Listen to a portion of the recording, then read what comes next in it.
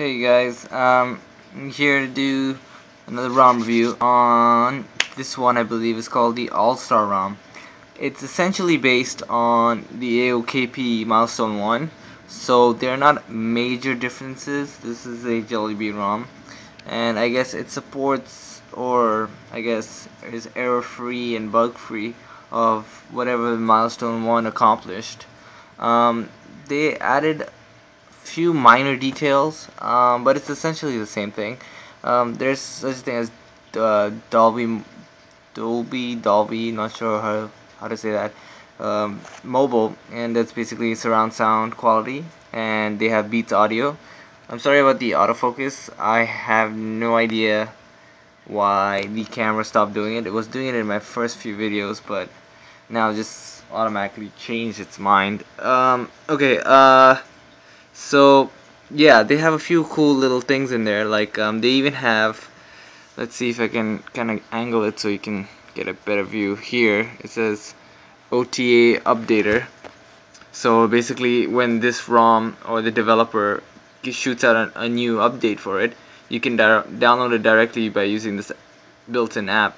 Um, it does not replace your system files and do a OTA like the original like stock ROM where you don't have to wipe anything. You it basically just downloads the ROM into your internal or SD card depending where you place it and um, you gotta flash it like every other ROM.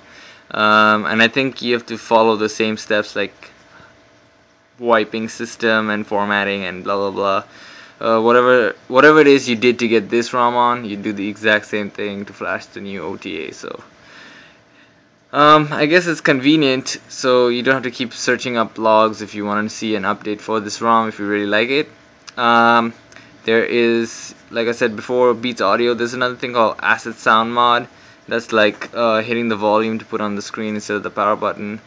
Um, yeah but other than that it's pretty much the same thing Google Now is slightly better integrated. Um, if you watch my AOKP review, it'll be better um, because I go more into depth of what the new Jelly Bean has to offer as in bug fixes.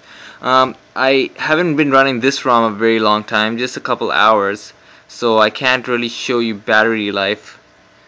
Um, it's showing 50 minutes, but I restarted the phone. Um, so yeah, uh, Oh, and one more thing that I have to show is the boot animation. So,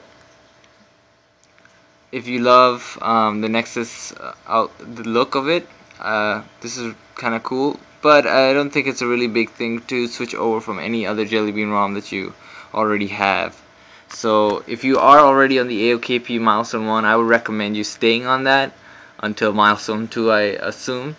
Or um, yeah, if you really, really want this boot animation, um, yeah, I guess you could switch over. This is essentially AOKP anyways, so I haven't experienced any bug per se. And yep, there you go. That's the little cool Nexus 4 boot animation that uh, they ported over. I think they got it from leaked files or APKs or I'm not sure from where. But yeah, stay tuned.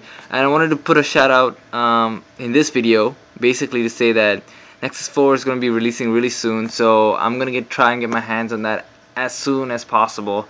And I'm going to be doing a multiple part review for that. Um, so first part being like unboxing and specs and blah blah blah you know the normal thing and I'm gonna get my hands on a Galaxy S3 quad core version, the international one, and we're gonna go. I guess that'll be the second part where we're gonna do head-to-head comparisons.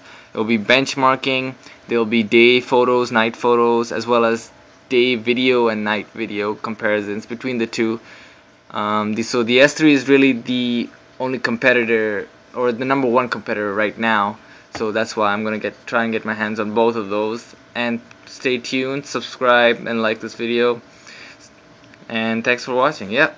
See you later.